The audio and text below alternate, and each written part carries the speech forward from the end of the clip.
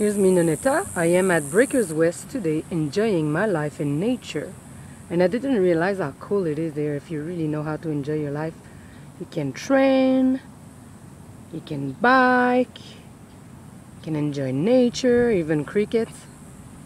I love it. I just swam and this is my bike.